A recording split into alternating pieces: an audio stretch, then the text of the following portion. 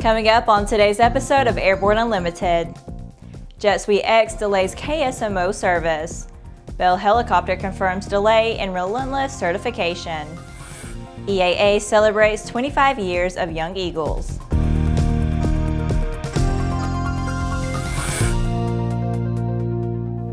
Hello, I'm Laura Hudson. It's February 3rd, and this is Airborne Unlimited. Well, we knew this was likely.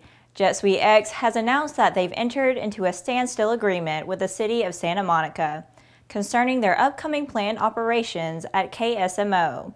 The agreement is designed to give the parties time to come to some kind of a final agreement. Originally, flights to Santa Monica Airport were supposed to launch on February 6 with destinations like Carlsbad, San Jose, and Las Vegas. Due to recent FAA betrayals, however, JetSuiteX has agreed to hold off until February 15, 2017. JetSuiteX has canceled all flights to, from, or connecting through Santa Monica from February 6th through February 24th and will issue full refunds for all affected customers. CEO Alex Wilcox said, quote, Given the uncertainty surrounding the status of the airport, we have entered into this standstill agreement to provide time for an orderly process to negotiate with the city. We apologize to our clients, over half of who are Santa Monica residents, who have been adversely affected by the unprecedented recent events concerning SMO Airport. In just a few weeks, JetSuiteX reportedly sold flights to over 1,000 customers, over half of whom were residents of Santa Monica and apparently who saw JetSuiteX as a great solution to save hours of time and hassle flying from LAX. The city's surprise agreement with the FAA to shorten the runway and eventually kill the airport and all those aviation jobs was made with no public or user input. Bell Helicopter has confirmed that there will be a delay in the certification of its 525 Relentless helicopter due to a tragic fatal accident involving one of its test aircraft last July. Bell says that the two remaining flight test aircraft have been grounded since the accident pending the release of the NTSB's probable cause report. Two test pilots were fatally injured when the test aircraft went down on July 6, 2016. Bell has reportedly not even performed ground runs of the aircraft since the accident. Larry Thamesh, Vice President of 525 Sales and Business Development, said that the five year certification window with the FAA expired late last year that has been extended for two years, taking the program to the end of 2018. Another two aircraft are in final assembly, while the two existing aircraft are being upgraded to bring them to a production standard configuration. After the break, 25 years of Eagles is celebrated. There's a difference between charting a steady course and pushing for the ceiling. And for nearly a century, Hartzell Propeller has been defining that difference. It's in our passion for engineering and research and our dedication to testing the limits of performance. We are built on honor. We are Hartzell Propeller. Explore no limits flying in the FAA certified SeaRey Amphibious LSA, one of the top three best selling LSAs in the U.S. Progressive Aerodyne SeaRey comes equipped with a Rotax engine and exhibits extraordinary handling on land, water, and in the air. Check it out at www.searey.com. Welcome back. If you have a story suggestion for Airborne Unlimited, Aero TV, the new AMA drone report, our website or podcast, just email to news-spy at aero-news.net. Among other auspicious events this year marks the 25th anniversary of the Young Eagles program. This program began in 1992 and has provided more than 2 million young people ages 8 to 17 with an introduction to the world of personal aviation. EAA has plans to celebrate this milestone and has planned a variety of events and activities throughout the year beginning with a special 25th anniversary exhibit in the EAA AirVenture Museum. The exhibit will share the history and impact of the Young Eagles program through photos, videos, and interactive displays. AirVenture 2017 attendees are invited to join EAA for a birthday cake celebration and show their pride in the Young Eagles program with special 25th anniversary t-shirts and hats that will be available during the convention. EAA will also host a Young Eagles volunteer dinner on July 26 to thank those who make the Young Eagles possible and successful. As a special thank you to pilots who fly Young Eagles during the anniversary year, EAA has created a commemorative prop card instead of decals. Pilots who fly at least one Young Eagle will also receive a letter of thanks from EAA. In addition, a special 25 for 25 pin will be given to pilots who fly at least 25 Young Eagles during 2017, and they will also receive recognition on the Young Eagles website. EAA promises that additional details will be announced as they are finalized. It's Friday, and that means it's time for A&N CEO and Editor-in-Chief Jim Campbell to check in with his weekly barnstorming commentary.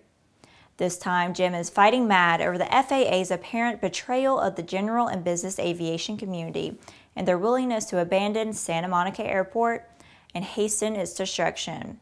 Here's this week's barnstorming. Thanks, Laura, and hi, folks. Well, they tell me the proper way to describe a good compromise is when nobody's happy.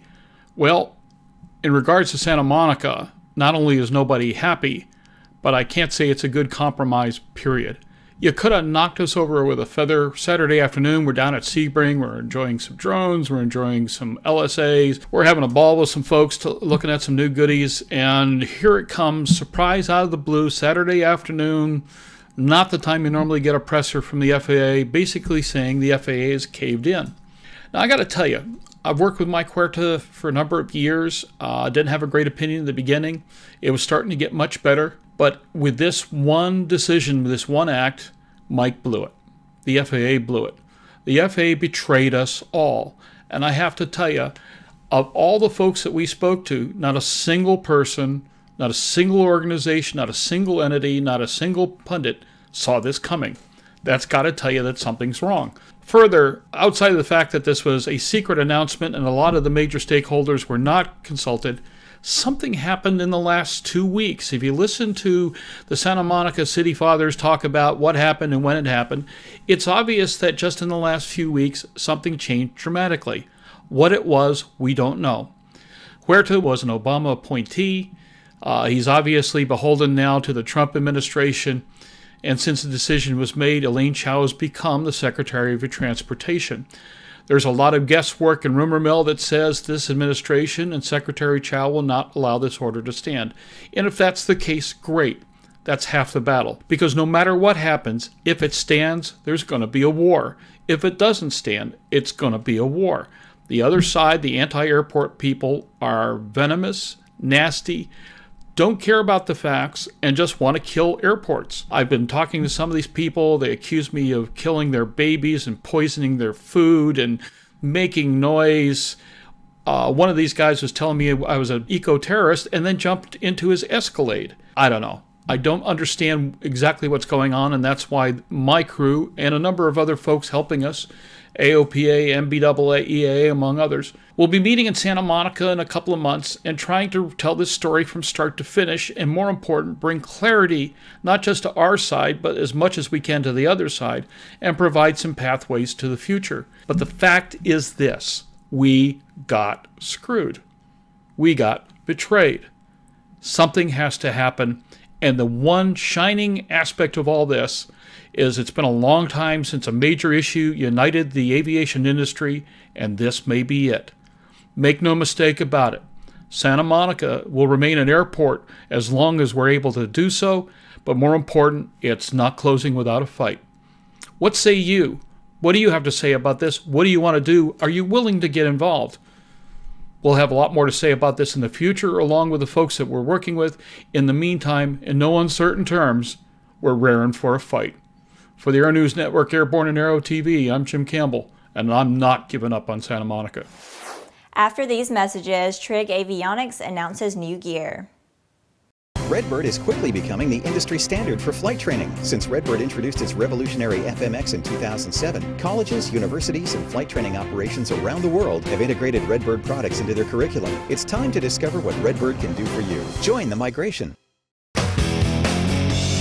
Based on the popular Sling 2 LSA, the Sling 4 was designed to be the most practical and desirable lightweight four-place experimental aircraft on the market. Find out more about this 115 horsepower turbocharged airplane at airplanefactory.com. Welcome back. With so much news coming out of the aviation industry, we're summarizing some other interesting stories in a brief segment we call Around the Patch.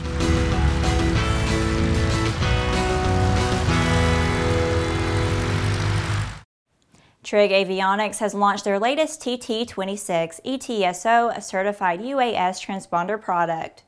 Trig says the TT26 is truly groundbreaking, providing four vital functions to support onboard autopilot systems. The one-box TT26 contains a 250 watt Mode S transponder with altitude encoder that also operates ADS-B out up to 70,000 feet.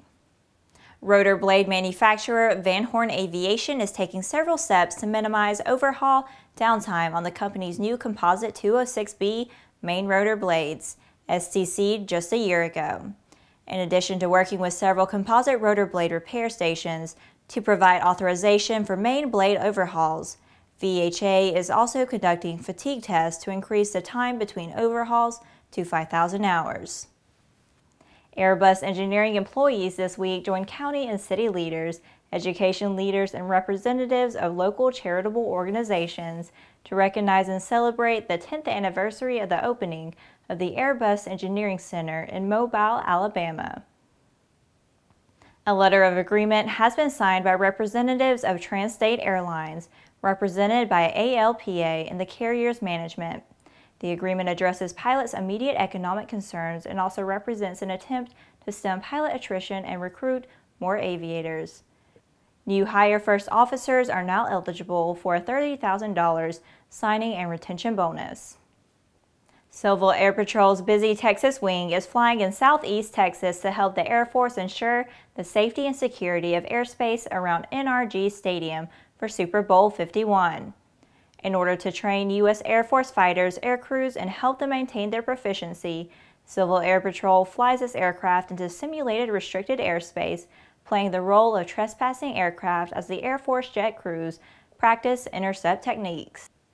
Well, that's it for today's trip around the patch. Now let's move on to the rest of the news. Lockheed Martin will cut the cost of the next batch of F-35 jets by about $600 million by building more of the airplanes in the next production run. A deal for the 10th production lot of Joint Strike Fighters is still in negotiation, but it could be made up of some 90 planes costing about $9 billion. That would drive the cost of each airplane below $100 million for the first time. Production runs of fewer airplanes have resulted in a cost of $107 million per copy. The larger production run will give Lockheed Martin more leverage in negotiations with its suppliers and partner companies. There are some 1,250 suppliers in 45 states and Puerto Rico making components for the Lightning II.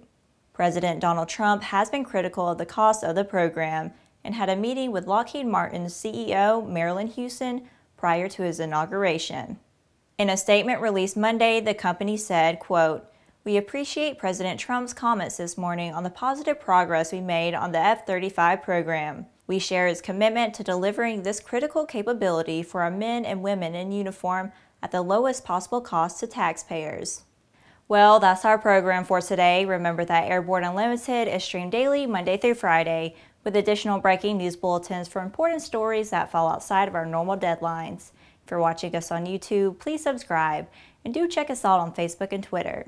Get comprehensive, real-time, 24-7 coverage of the latest aviation and aerospace stories anytime at aero-news.net. Have a great weekend. See you Monday.